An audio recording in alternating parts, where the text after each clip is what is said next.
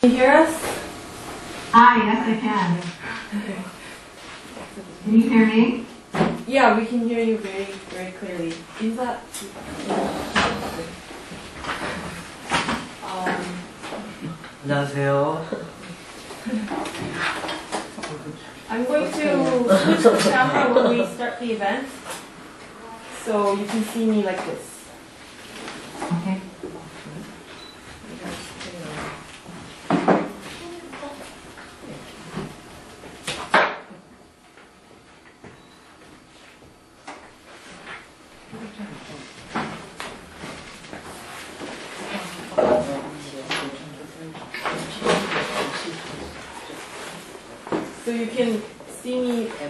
Talking and I start talking.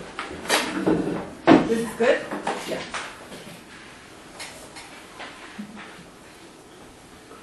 First, you can say hi to the people who are here.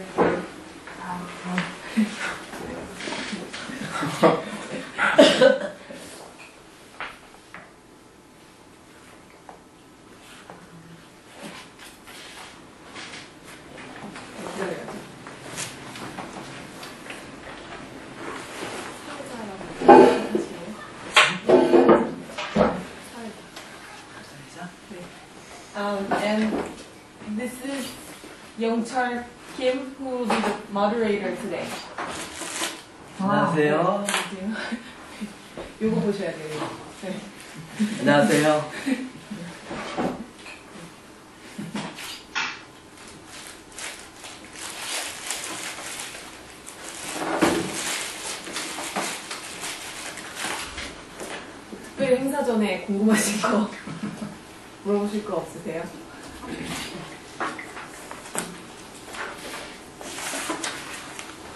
책은 다 읽고 오셨어요?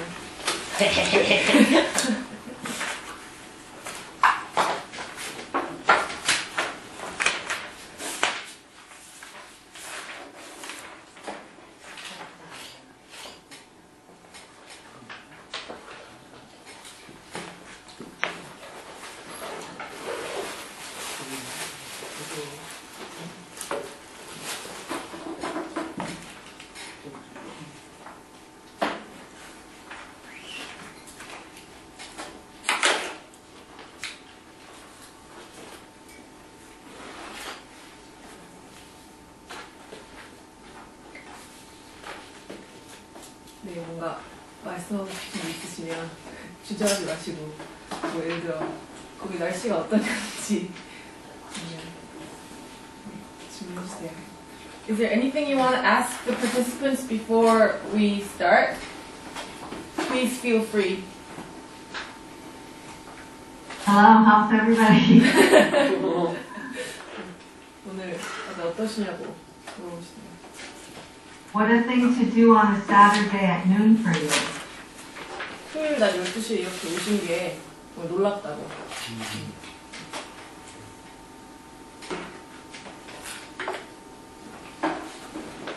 계신 곳은 지금 시간이 어떻게 되, 되죠? Uh, what time is it now where you are? Where you are? It's 11 p.m. 감명시입니다. 피곤하시겠다. 네, you must be tired. He said. I- so it I'll goes be more tired in an hour. 한 시간 뒤에 더 피곤하시고.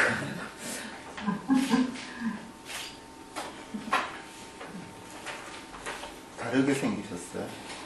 Um, he says you look different from the flyer we put out with your picture on. Oh, I, I just had my hair cut very short. 최근에 머리를 짧게 자르셨다고. 그 나, 나라가 어떻게 되는 거예요? Which country are you at? I'm in the United States, in Massachusetts. 미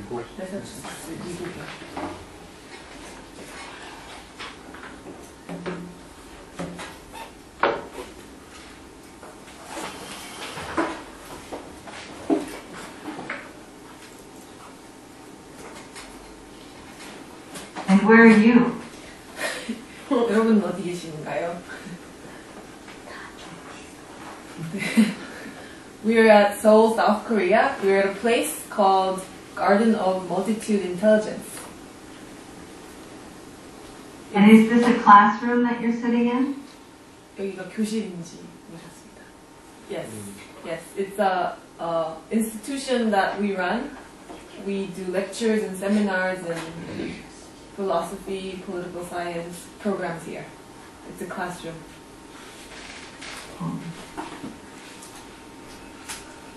아, 질문 있어요. 네. 거기는 아큐파이 무브먼트가 지금은 어떻게 발전되고 있는지, 사그러지는지 그, 그거 아시나요? 네. She wants to know if the Occupy movement is still going on there right now, or is it kind of um, The Occupy movement is relatively quiet in the street, but there's a great deal of discussion about the Occupy movement in um, all kinds of venues, in journalism, um, in uh, accounts are being given now of the Occupy movement. There's a great deal of debate. 정책적으로는 변화가 있는지요? 음, 일단은 요거부터 통역하고 아, 말씀드릴게요. 네. 일단 거리에서는 좀 사그러들었는데 뭐 저널리즘이나 학문 영역들 뭐그 정과를 운동에 대한 여러 증언들 진술들이 활발하게 나오고 있고 그래서 논의가 활발하게 이루어지고 있다고 하셨어요. 정책적으로요. 네, 정책적으로도 어떤 변화가 보이는지, 네. 보인다고 생각하시는지. She wants to know if there's some change that you see after the Occupy movement The policy in level. the policy policies. In the policy, not directly in policy, but there is a, a huge effect, I believe, in the debates that are ongoing that will inform policy very soon. 직접적으로 정책 부분에서 영향이 느껴지진 않지만 곧 아마 이제 빠른 시일 내에 그 정책에 영향을 미칠 아주 큰 영향력이 느껴지고 있다고 말씀하셨어요. 네. Can I add something? Okay. Yeah, sure. Um, Occupy has taken some new forms. For example, um, after the there was a hurricane in New York, um, a group called Occupy Sandy, which was the name of the storm. Am I speak? Should I stop so you can translate? Okay, thanks. 그 정과라가 최근에는 새로운 형태를 좀 띠고 있는데요. 그 뉴욕에 있었던 허리케인이 있었는데 그 허리케인의 이름이 샌디였다고 하고 그, 그 이름을 따 오큐파이 샌디라는 운동이 뉴욕에서 벌어지고 있다. 그럽니다. So, oc- occupiers are continue to take direct action, but it's not action in the form of protest. 그 계속해서 직접 행동을 하고는 있지만 시위 형태를 취하고 있지는 않습니다.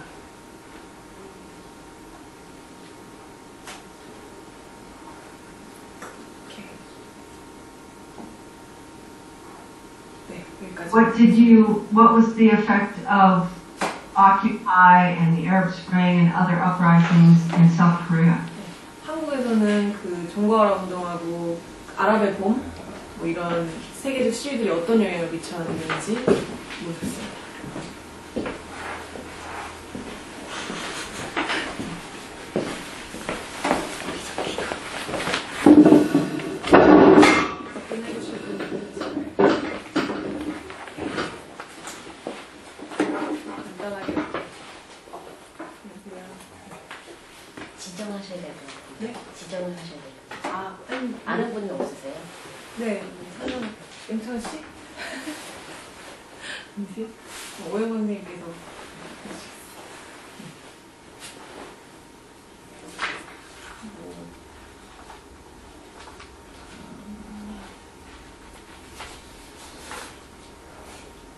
No one wants to answer the question, Yeah, I don't think there would be anything that directly happened right afterwards, but I'm sure the effects also affected Korea.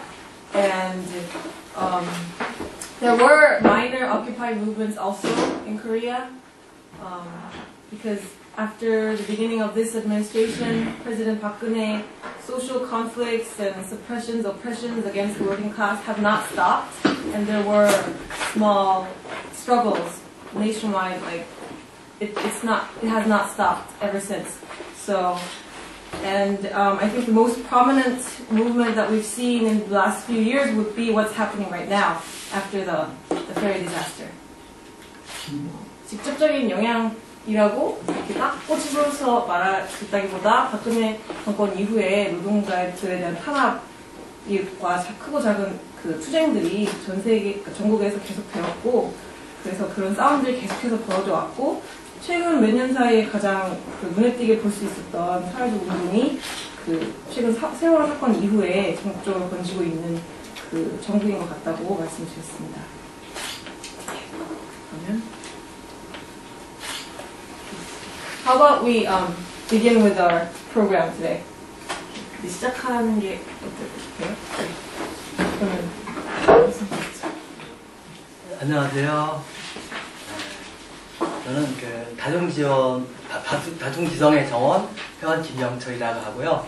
이렇게 어, 음, 사회를 맡게 돼서 영광스럽게 생각합니다. 반갑습니다.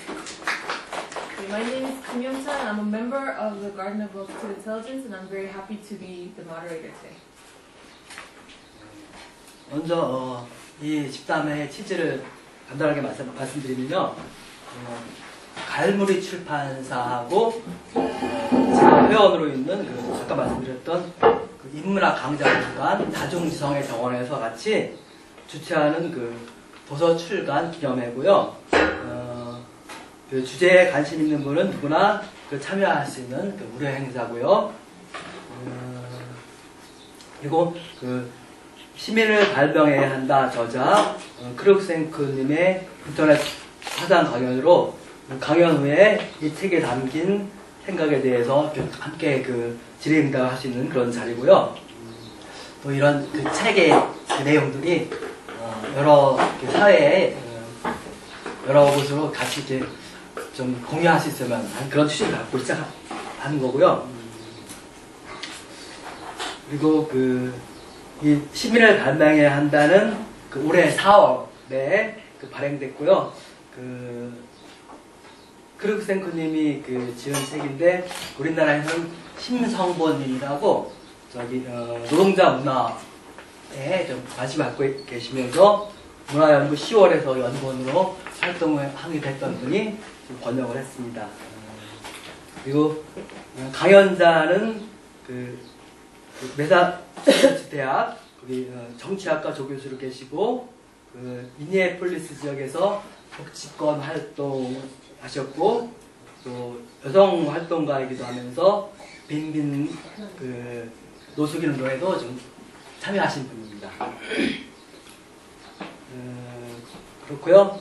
그 행사 전체 프로그램은 그러니까 어, 한 시간 정도 이렇게 크리스텐크님의 좀 강연이 있겠고 그 다음에 한 10분 정도 휴식하고 어, 2시까지 그 질의와 어, 토론을 하는 것으로 2시간 정도 해야 될 것 같아요. 너무 오래는 그쪽 시간이 저기 지금 11시니까 너무 오랜 시간은 어려울 것 같고요. 그래서 이렇게 2시까지로 하는 걸로 이렇게 정해놓고 좀 시작하겠습니다.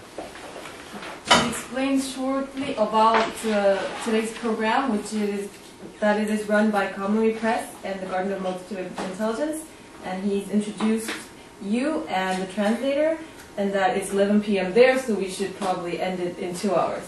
That's the last comment that he added. Thank you. 그 시간 문제에 대해서 얘기해 주셔서 감사하다고.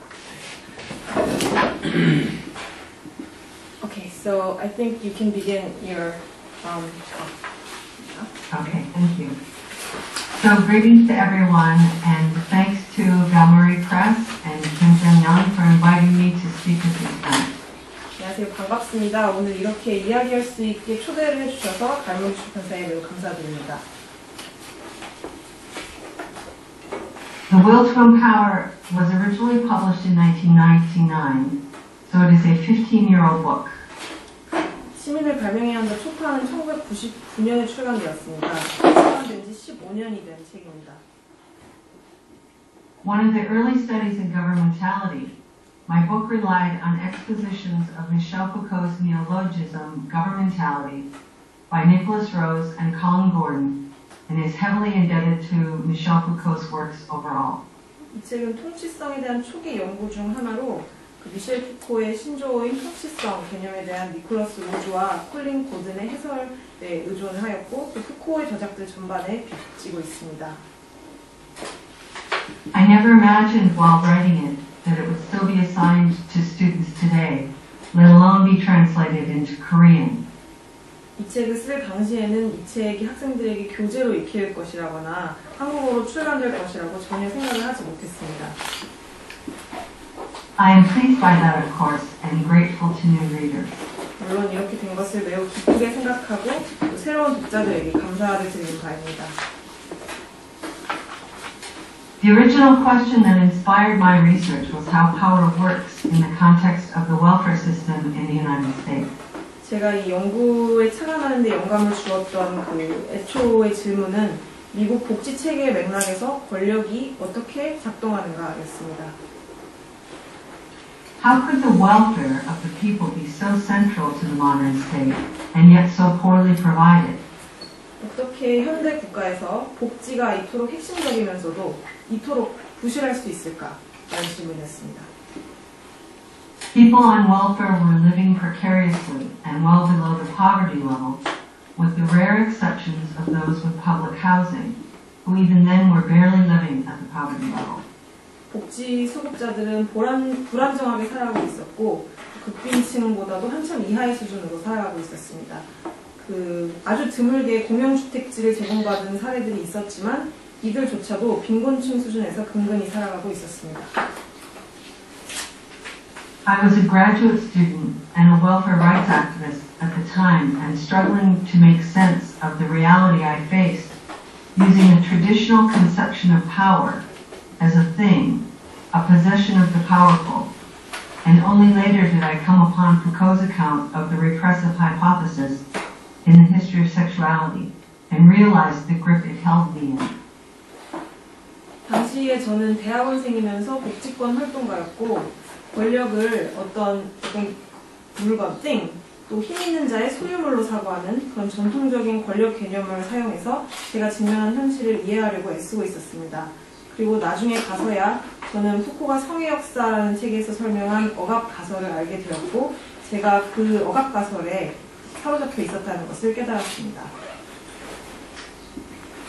I then immersed myself in Foucault's work, his analysis of power, and the concept of liberal governmentality helped me to articulate, excuse me, articulate the ways that welfare was simultaneously individualizing and total, totalizing, simultaneously a way of knowing and a way of enacting relations of power, both empowering and disempowering, both a poverty trap and a way out of poverty.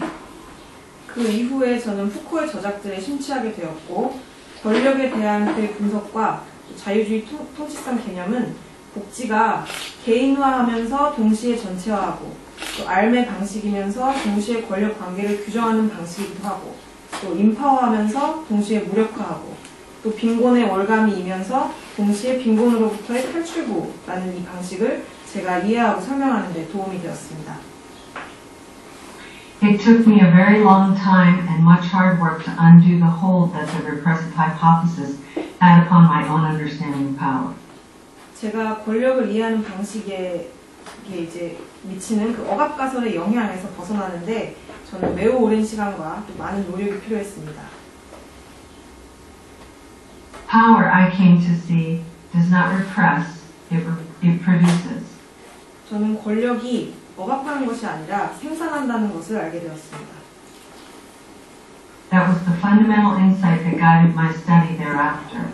제 이후 그 이후의 연구를 이끌었던 근본적인 통찰이 바로 이것이었습니다.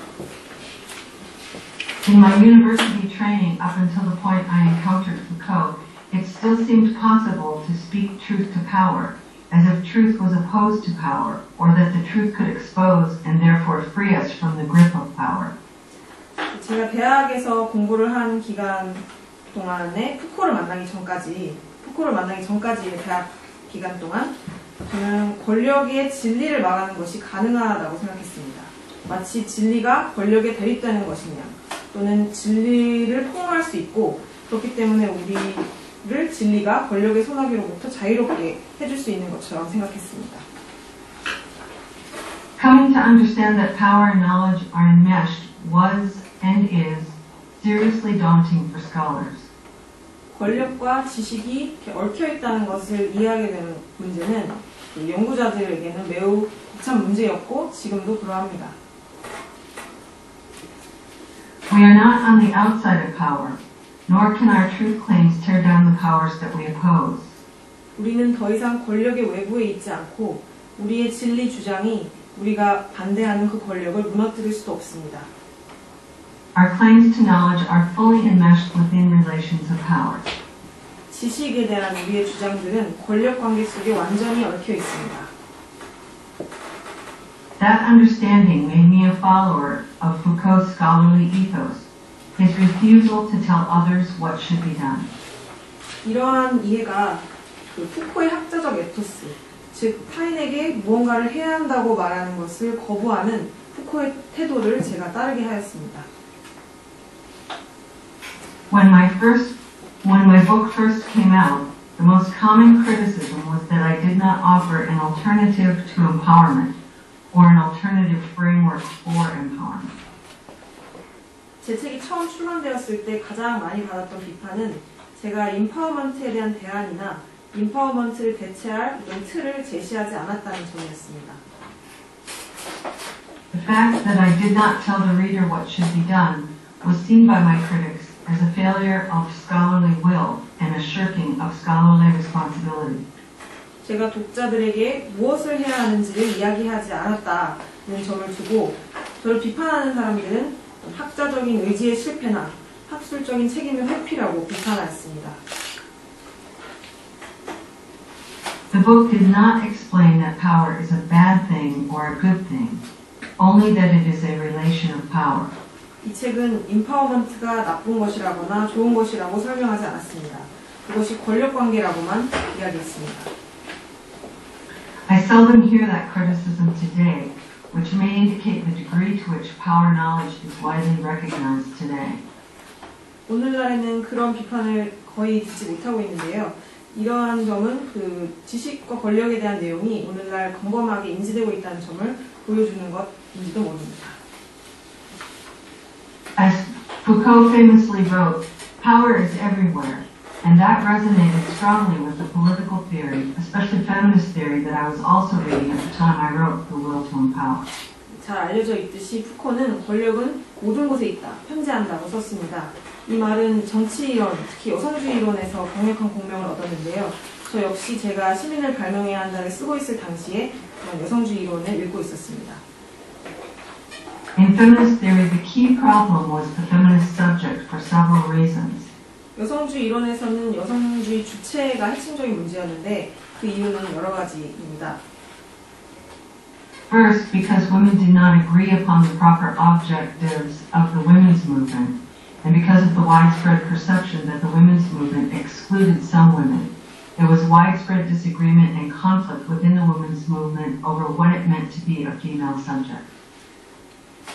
그 이유는 첫째로 이런 인식이 광범위하게 퍼져 있었기 때문인데요. 즉 여성들이 여성 운동의 고유한 목적들을 동의하지 않고 있고 또 여성 운동이 일부 여성들을 배제한다라는 광범위하게 퍼진 인식 때문에 여성 주체이라는 것은 어떤 의미인지에 관해서 여성 운동 내부에서 의견 충돌과 갈등이 퍼져 있었습니다.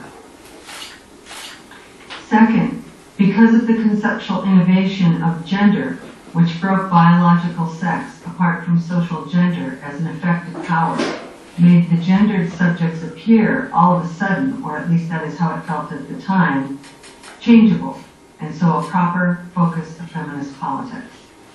둘째로 그 젠더라는 개념, 개념적 혁신, 즉 생물학적인 성을 권력의 효과로서의 사회적 성과 분리시키는 이 젠더라는 개념적 혁신으로 인해서 갑자기 그, 그 당시에는 갑작스럽게 느껴졌는데요. 갑자기 젠더화된 주체들이 변화 가능하고 또 여성주의 정치에 있어서 매우 적절한 초점인 것처럼 보였습니다. I drew upon the debates within this theory and applied them to the democratic subject, or citizen subject. Like gen, oops, sorry. 저는 여성주의 이론 내부에서의 논의들을 가져와서 민주주의적 주체 또는 시민 주체에 적용을 해보았습니다. Like gendered subjects, citizens are made, not born. 젠더화된 주체들처럼 시민은 만들어지는 것이지 탄생하는 것이 아닙니다. My own study is today accompanied by the work of Mitchell Dean and countless studies of neoliberal governmentality in a wide number of contexts of education, healthcare, the environment, international aid and development, and in countries that are not typically thought of as liberal. 오늘날에는 신자유주의 통치성에 대한 수많은 연구들이 있는데요. 뭐, 제 연구 이외에도 미첼 딘의 작업과 또 교육, 의료, 환경, 국제 원조, 개발에 대한 다양한 맥락 속에서의 연구들 그리고 또 일반적으로 자유주의 국가라고 생각되지 않는 나라들에서의 연구들도 있습니다. The fact that the concept of neoliberal governmentality has such wide applicability in so many different arenas and areas of the indicates to some scholars that the forces of neoliberalism and market solutions to political problems, often referred to as the Washington Consensus, is a kind of fundamentalist, global, and monolithic force. 일부 학자들은 이렇게 신자유주의적 통치성 개념이 다양한 분야와 다양한 지역들에서 폭넓은 적용 가능성을 갖는다는 사실을 두고 그 신자유주의 세력들과 또 종종 워싱턴 컨센서스라고 불리는 정치 문제에 대한 시장적인 해법들이 근본주의적이고 전 지구적이며 획일화되었다라고 분석을 합니다. It indicates to others the success of market-based approaches and their broad acceptance. 또 다른 학자들은 이런 현상을 두고 시장에 기반한 접근법들이 성공했고 또 그 접근법들이 이렇게 폭넓게 수용되고 있다라고 분석합니다. I hope to explain why both of those analyses of neoliberal governmentality are problematic. 저는 신자유주의적 통치성에 대한 이 두 개의 분석 모두가 문제적이라는 점을 설명하고자 합니다. In one respect, neoliberalism, posing the market or the logic of the market as the solution to every political problem, is part of what made liberal governmentality visible to Foucault in the first place. 한편에서 신자유주의, 즉 시장이나 시장의 논리를 모든 정치 문제의 해법으로 우치시키는 것은 그 것이 바로 처음에 푸코에게 자유주의적 통치성을 가시적으로 만들었던 현상의 일부였습니다. Earlier variants of liberal governmentality did not express the relation between government and mentality in so uniform a way as neoliberal governmentality, which made it harder to see the interlocking relations between power and knowledge clearly. 그 자유주의적 통치성의 초기의 변종들은 신자유주의적 통치성이 그러하듯이 통치와 멘탈리티, 정신의 관계를 어떤 통일적인 관계로 표현하지 않았고 그래서 권력과 지식의 이 맞물리는 관계를 보기 어렵게 만들었습니다. Through his analysis of neoliberalism, Foucault came to see liberalism in all its variant forms as caught up in a struggle over governing too much or too little. 푸코는 신자유주의에 대한 분석을 통해서 자유주의의 모든 변형태들을 너무 많은 것을 통치하거나 너무 적게 통치하거나 사이에서 고군분투하는 어떤 것으로 이해를 하였습니다. Such was, such was the case implicitly in his study of the prison, where punishing too harshly or too leniently, too much or too little, was the constant source of criticism and reform of the pris- prison. 이러한 점이 감옥에 대한 푸코의 연구에서도 이렇게 암암리 드러났는데요.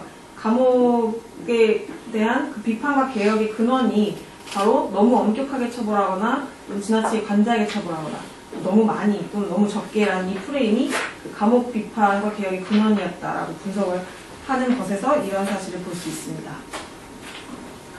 The longevity of the prison as a system of punishment was understood by Foucault to be founded on the principle of constant reform. 그 처벌 체계로서의 감옥이 이렇게 장기간 동안 계속될 수 있는 그 이유를 그 원인을 푸코는 그 끊임없는 개혁의 원리에 기초했기 때문이라고 이해했습니다. one can see liberalism in this light, not as a definite institutional arrangement or coherent set of ideas, 이러한 관점에서 우리는 자유주의를 어떤 분명한 제도적 합의가 아니라 개념들의 일관된 집합이나 조합으로 볼 수 있게 됩니다. Rather, liberalism is a manner of governing that poses the problem of government as a permanent instrument of critique, as Foucault put it. 그 앞서 말씀드린 문장을 좀 수정하겠습니다. 분명한 제도적 합의나 개념들의 일관된 집합이나 조합으로 보는 게 아니라 오히려 이번에 말씀하신 내용은 자유주의는 푸쿠가 말했듯이 어떤 영구적인 비평의 도구로서의 정부라는 문제를 제기하는 통치 방식입니다. Like the prison, liberalism is never settled as an institutional arrangement, but established on the basis of constant critique. 감옥처럼 자유주의가 제도적인 합의나 배치로서 정착되는 일은 없, 없습니다. 오직 거듭되는 비판에 기초하여 수, 수립될 수 있을 뿐입니다. 비판과 비평입니다. Neoliberal governmentality is ubiquitous today, but I do not agree with those who see neoliberalism as the last and final form of liberalism. 오늘날 신자유주의적 통치성이 편재하는 것은 사실이지만 신자유주의를 자유주의의 마지막이자 최종 형태로 보는 관점에 저는 동의하지 않습니다. Writers as different and ideologically opposed as Francis Fukuyama on the right and Wendy Brown on the left have argued that neoliberalism exhausts all possible alternatives, that it is insurmountable, dominant, and unchanging. 프란시스 후쿠야마에서 웬디 브라운에 이르기까지 이렇게 다양하고 또 이데올로기적으로 공격적이기도 한 저자들은 공통적으로 신자유주의가 모든 가능한 대안들을 고갈시켰고 그것은 극복 불가능하고 지배적이고 또 불변의 것이라고 주장을 해왔습니다. In both cases, contrary to Foucault, they treat neoliberalism as a philosophical, ideolog- ideological, and juridical formation, not a manner of governmentality or a way of governing. 이 두 경우에서 모두 푸코와는 반대로 이들은 신자유주의를 어떤 철학적이고 이데올로기적이며 또 사법적인 형성물로서 다루지 통치성의 방식이나 통치의 방식으로 다루지 않습니다. While Fukuyama celebrated the triumph of liberalism, Brown calls for an ideological alternative to it. But in both cases, they are analyzing neoliberalism in the same way. 후쿠야마가 자유주의의 승리를 찬양하고 또 브라운은 신자유주의에 대한 이데올로기적인 대안이 필요하다고 주장하지만 이 두 경우에서 모두 신자유주의는 동일한 방식으로 분석되고 있습니다. Foucault helps us to see that neoliberal governmentality is a manner of governing, governing and exists on the basis of critique, that neoliberalism is not smooth or uniformly applied. 푸코는 신자유주의 통치성이 통치의 방식이자 또 비평에 기초하여 존재한다는 것 그리고 신자유주의가 매끈한 것도 아니고 또 획일적으로 통일적으로 적용되지도 않는다는 것을 우리가 알 수 있게 도와줍니다.